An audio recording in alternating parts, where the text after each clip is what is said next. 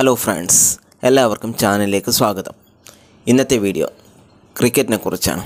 അതായത് രണ്ടായിരത്തി ആറ് ഇന്നത്തെ ഐ പി എല്ലും ട്വന്റി ട്വന്റിയൊക്കെ സജീവമാകുന്നതിന് മുന്നേ അന്ന് കൂടുതലായിട്ടുണ്ടായത് ടെസ്റ്റ് ക്രിക്കറ്റും അമ്പത് ഓവർ ക്രിക്കറ്റാണ് അതിൽ അമ്പത് ഓവർ ക്രിക്കറ്റിനാണ് കൂടുതൽ ആൾക്കാർ കാണുന്നതെങ്കിലും ടെസ്റ്റ് ക്രിക്കറ്റും ഒട്ടുമിക്ക ആൾക്കാരും കാണാറുണ്ട്. പക്ഷേ എല്ലാ ദിവസവും ഈ അഞ്ച് ദിവസത്തെ കളി നമ്മൾ അഞ്ച് ദിവസവും ഇരുന്ന് കാണാറില്ലെങ്കിൽ നമ്മൾ ടെസ്റ്റ് ക്രിക്കറ്റിന്റെ ഒരു എന്താ പറയുക സ്പിരിറ്റിലെത്തുന്ന സമയങ്ങളുണ്ട് ചില. അത് നമ്മൾ എല്ലാവരും ഇരുന്ന് കാണുന്നൊരു കളിയാണ്.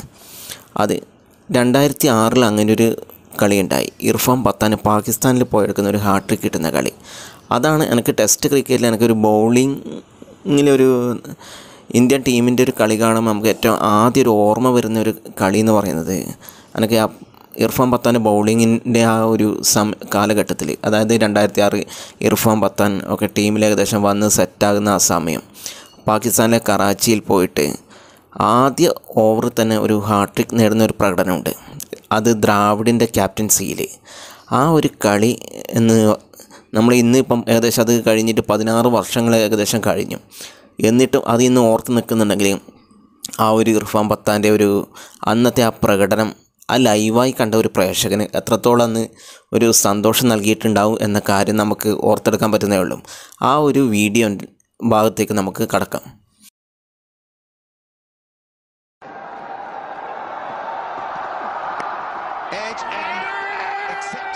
It's Rahul Dravid who picks up a neat catch.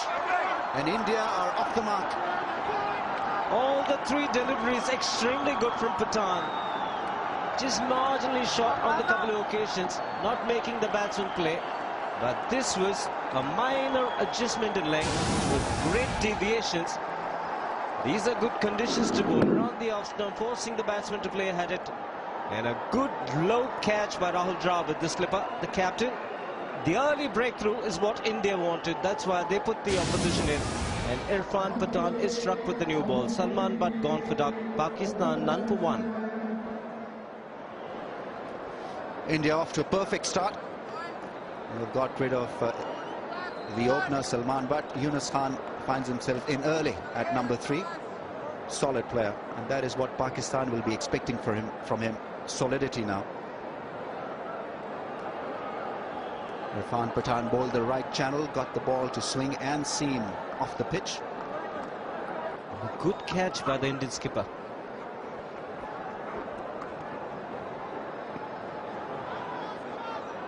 He'll be tested, Yunus Khan.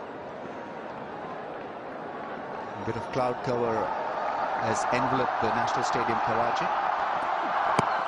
Oh, close enough to call. I think it is close enough to call, and he's gone. What a good delivery. Perfect line, swing, direction, and the result was a perfect uh, one for the left armour. The Indians would have realized from the last game that Yunus Khan was a good candidate for leg before. He was out leg before to RP Singh in the 190s. And here, first delivery. What a great one.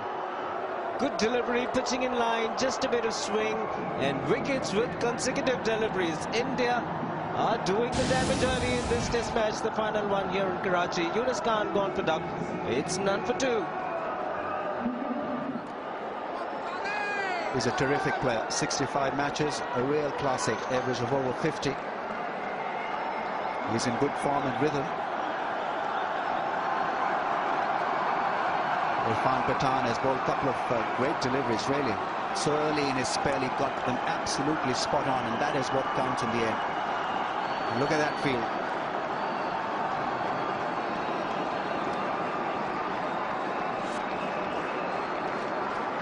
They got rid of Yunus Khan with a lovely in-dipper. What will this ball be?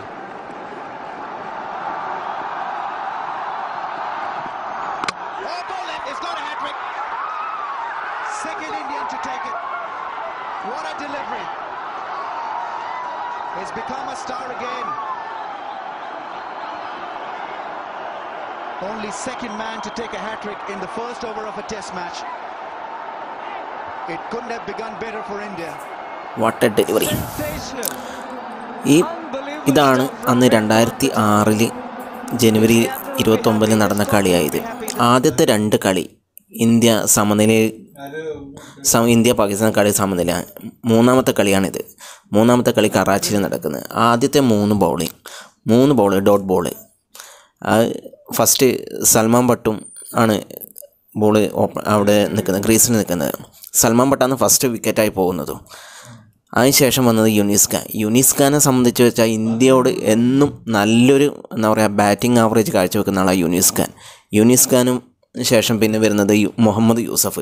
Muhammad Yusuf എന്നത് പാകിസ്ഥാന്റെ എന്ന ആ സമയത്തെ നെടുന്തൂണാണ്. ആ മുഹമ്മദ് യൂസഫിനെ ഇർഫാൻ പത്താൻ ബൗൾഡാന്നാക്കുന്നത് bowled.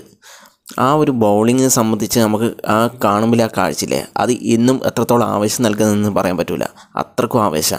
ആ മുഹമ്മദ് യൂസഫ് വെച്ചാൽ എന്താ പറയുക ബോൾ കൈമടക്കി എറിഞ്ഞവർക്ക് ഔട്ടാകാത്തൊരു മനുഷ്യനാണ്. അദ്ദേഹത്തിനാണ് ബൗൾഡാക്കിയത്. അത് സംബന്ധിച്ച് എന്താ പറയുക പാകി ഇർഫാൻ പത്താന്റെ കരിയറിൽ തന്നെ ഏറ്റവും നല്ലൊരു ഒരു സ്റ്റാർട്ടിങ് കരിയറിൽ കിട്ടുന്ന ഒരു തുടക്കമില്ലേ അതാണ് ഇത്. ഈ കളി നമുക്ക് കാണാൻ കാഴ്ച പറ്റിയത്.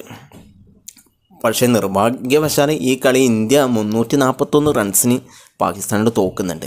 അതാണ് വേറൊരു സംഭവം. പാകിസ്ഥാനിൽ പോയിട്ടും ആദ്യ രണ്ട് കളി സമനില മൂന്നാമത്തെ കളി പാകിസ്ഥാനോട്. ഇന്ത്യ ഈ എന്താ പറയുക ഇർഫാൻ പത്താൻ ഹാട്രിക്ക് നേടിയ കളി ഇന്ത്യ സമ സമനില പോലും ആകാതെ ഇന്ത്യ തോൽക്കുന്നുണ്ട്. അത് ഇതിന്റെ വേറൊരു വശം. പക്ഷേ ഈ ഇർഫാൻ പത്താന്റെ ഈ ഹാട്രിക് ബൗളിംഗ് ആണ് എന്നെ സംബന്ധിച്ച് എനിക്ക് ക്രിക്കറ്റിൽ ഒരു ടെസ്റ്റ് ക്രിക്കറ്റിൽ ഫസ്റ്റ് ഓർമ്മ വരുന്ന ഒരു രംഗം. കാരണം വെച്ചാൽ ഇർഫാൻ പത്താന ഔട്ടാക്കിയ ആൾക്കാരെ നോക്കുമ്പം വെച്ചാൽ സൽമാൻ ഭട്ട് യുനീസ് ഖാൻ മുഹമ്മദ് യൂസഫ് അതും ഫസ്റ്റ് എത്തത് സ്ലിപ്പിൽ ക്യാച്ച് രണ്ടാമത് എൽ ബി ഡബ്ല്യു മൂന്നാമത്തേത് ബൗൾഡ് അത് ബൗൾ പിന്നെ ഒരു ബൗളറെ മെയിൻ സ്ട്രെങ്ത് ആണ് ആ ഒരു നമുക്ക് കാണാൻ കഴിയുന്നത്. പിന്നെ ഇർഫാൻ പത്താനെ സംബന്ധിച്ചോളം ഇൻസിങ് ആൻഡ് ഔട്ട്സിങ് ഒരുപോലെ അദ്ദേഹത്തിന് ചെയ്യാൻ പറ്റുന്ന ഒരു മേഖലയാണ്. പിന്നെ അദ്ദേഹത്തെ ഏകദേശം പതിനേഴ് പതിനെട്ട് വയസ്സാകുമ്പോൾ അദ്ദേഹം ടീമിലെത്തിന് അതായത് നമ്മുടെ ഒരു സാധാരണ ഒരാൾക്കാർ ടീമിൽ സ്വപ്നം കാണാൻ തുടങ്ങുന്ന സമയത്ത് അദ്ദേഹം ടീമിൽ കളിച്ചും. ശേഷം വരുന്നത് ഏകദേശം ഇരുപത്താറ് ഇരുപത്തേഴ് വയസ്സാകുമ്പോഴത്തേക്ക് ടീമിൽ നിന്ന് ഔട്ടാകുന്നുണ്ട് ഒരു സാധാരണക്കാരൻ ഒരു ടീമിലെത്തി സെറ്റാകുന്ന സമയമാകുമ്പോഴത്തേക്കാണ് അദ്ദേഹം ടീമിൽ നിന്ന് ഔട്ടാകാനും ഔട്ടാകുന്നതും. ആ ടീമിൽ നിന്ന് ഔട്ടാകുന്നത് വെച്ചാൽ ഒരു ചാപ്പലിന്റെ ഒക്കെ വരോടുകൂടി ടീമിൽ തന്നെ ഒരുപാട് മാറ്റങ്ങളൊക്കെ സംഭവിക്കുന്നുണ്ട്. അതിനുശേഷം അദ്ദേഹം ചെറിയ പരിക്കായി അങ്ങനെ കുറേ സംഭവങ്ങൾക്ക് ശേഷമാണ് അദ്ദേഹം ടീമിൽ നിന്ന് ഔട്ടാകുന്നത്. പക്ഷേ ഒരു എന്താ പറയുക അന്ന് പാകിസ്ഥാന്റെ മുഹമ്മദ് അഫ്രീഡിനെ പോലെയോ അല്ലെങ്കിൽ ദക്ഷിണാഫ്രിക്കന്റെ ജക്കാലിസിനെ പോലെയെല്ലാം നമുക്കൊരു എടുത്തു പറയാൻ പറ്റുന്ന ഒരു ഓൾറൗണ്ടറായി മാറാൻ പറ്റുന്നൊരു ആൾ തന്നെയായിരുന്നു ഇർഫാൻ പത്താൻ. നമുക്ക് ഇർഫാൻ പത്താന്റെ കളി കാണുമ്പോൾ തന്നെ നമുക്ക് മനസ്സിലാവും. അദ്ദേഹം ബാറ്റിങ്ങിൽ എത്രത്തോളം ഉണ്ടായിരുന്നു. അദ്ദേഹം വൺ ഡൗൺ ആയിട്ടൊക്കെ ഇന്ത്യയിൽ ബാറ്റിംഗ് ഇറങ്ങിയിട്ടുണ്ട് അദ്ദേഹം.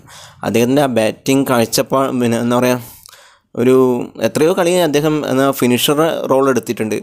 എല്ലാ മേഖലയിലും അദ്ദേഹം ഒരു എന്താ പറയുക സൂപ്പറായിരുന്നു ഓക്കെ. വീഡിയോ ഇഷ്ടപ്പെട്ടെങ്കിൽ എല്ലാവരും ചാനൽ സബ്സ്ക്രൈബ് ചെയ്യുക. പിന്നെ വീഡിയോ ഇഷ്ടപ്പെട്ടില്ലെങ്കിലും സബ്സ്ക്രൈബ് ചെയ്തേക്കുക. ലൈക്ക് ചെയ്യുക ഷെയർ ചെയ്യുക. Okay thank